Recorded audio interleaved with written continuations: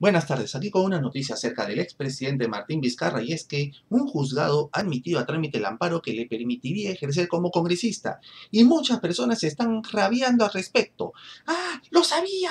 Vizcarra lo sigue teniendo controlado todo, mañana se mete al Congreso. ¡Ah! No, no, no, no son así las cosas. No son así las cuestiones. Vamos a revisar aquí en, este video qué es lo que quiere decir realmente que haya sido admitido a trámite su demanda. Vamos a observar aquí la nota que se encuentra en LP Derecho para ir comprendiendo de a pocos eh, que recién ha pasado una etapa, un filtro.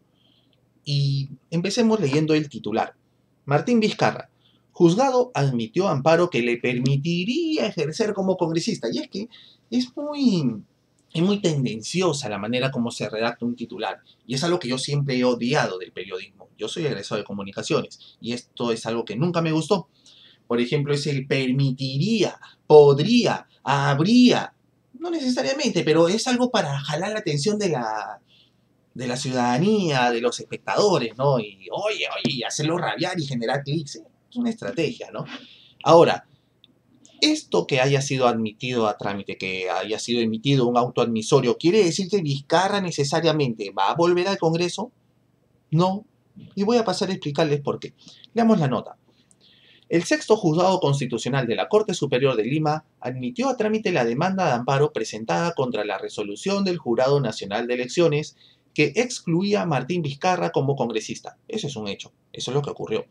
La demanda fue presentada por Ángela Patricia Escobar Yáñez contra el Jurado Nacional de Elecciones. Por cierto, jalón de orejas a LP Derecho, acá se ha confundido, de decir nacional, han puesto, ha redactado mal. Pero bueno, no importa. La jueza Rocío de Pilar Rabines, lo ponen en negrita así grandote, señaló en su documento que la demanda presentada cumple con los requisitos generales de admisibilidad. Ojo, cumple con los requisitos generales de admisibilidad. Aquí está el meollo de toda esta nota. Pero continuemos.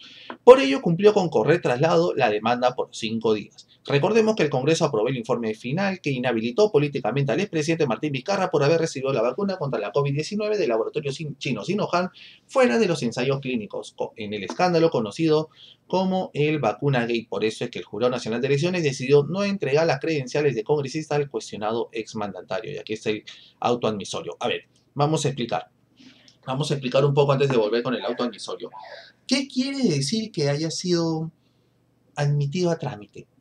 A ver, esto en buenas cuentas, en traducción cristiana, en idioma súper sencillo, ha cumplido con todos los requisitos de forma. Por decir, está presentado en el plazo correcto, con el formato correcto, ante el juez competente. Em, todas las formalidades están siendo cumplidas. Y con eso lo presentan y en el juzgado, bueno, la jueza checa, revisa, perdón, revisa todo y dice, ah, ok, ¿se cumple con todos los requisitos de formalidades? Sí, los tiene todos. Ah, ya, ok. Pasa el primer filtro y puede ser admitido a que analicemos el fondo del asunto. Eso es. Donde una vez que analicen el fondo del asunto podrán decir, ok, le damos la razón o no le damos la razón. Eso ya le corresponderá al, al ente jurisdiccional competente. Pero este titular, o sea, ya de frente te pone, ¿le permitiría ejercer como congresista?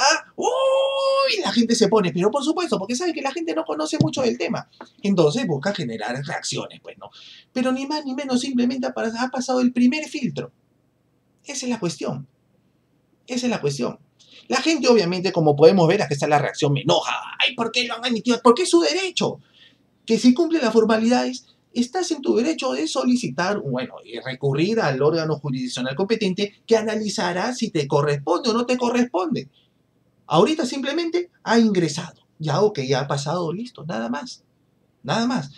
Probablemente le dirán que no, probablemente le dirán que sí, eso ya se verá, sus fundamentos de derecho serán analizados y ya se verá en el amparo qué es lo que ocurrirá.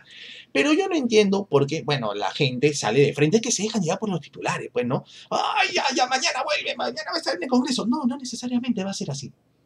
No, esto toma su tiempo. Un amparo, más allá de que sea una medida que se busca casi de urgencia, por decirlo de alguna manera, o sea, también toma su tiempo. Y veremos una vez que digan, ah, ok, le dan la razón, ah, ahí sí ya se puede ir observando algunas cuestiones y ya quizás podrían renegar un poco más. O quizás digan, no, ¿sabe qué, señor Vizcarra? Hemos analizado y no, no le damos la razón. No le damos la razón. Aquí en la página LP Derecho se puede eh, observar el auto admisorio. Es breve, apenas son dos páginas, como podrán notar. Y al respecto vamos a la parte resolutiva. En consecuencia se resuelve admitir la demanda de proceso de amparo interpuesta por Ángela Patricia Escobar Yáñez contra el Jurado Nacional de Elecciones. Asimismo, bueno, emplécese al, emplácese, perdón, al Procurador Público del Jurado Nacional de Elecciones. Es decir, que lo van a poner en conocimiento. ¿Para qué?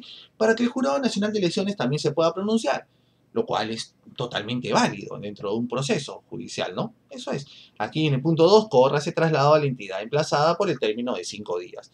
A ver, yo les quiero hacer la pregunta, de que se escandalicen. ¿En qué parte de aquí dice que el señor Martín Vizcarra con esta resolución eh, puede ser congresista? Pero yo... Pero, ¿ah, qué? ¿Qué cosa? ¿Qué cosa aquí? El titular, ¿el titular qué?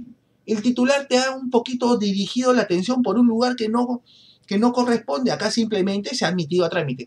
Pero acá dice, mira, que, que busque ejercer como congresista. No necesariamente es así. No necesariamente es así. Probablemente leen la razón, probablemente no. Por eso, yo después ya este video lo voy a colgar aquí en algunos comentarios, en algunas respuestas a estos posts y a ver si a algunas personas también esto les sirve de algo para que no se escandalicen y permitan que el proceso siga su curso. Falta bastante falta bastante. Y acá ni siquiera me pronunció si me parece que Vizcarra tiene la razón o no la tiene. Eso es otro tema. Simplemente quería orientar a la gente que antes de renegar y estar rabiando en uno de estos posts, primero observen bien y entiendan los alcances de lo que quiere ser que haya sido admitido a trámite y que es un auto admisorio. Bueno, eso simplemente. Un saludito y hablamos gente. Chau, chau.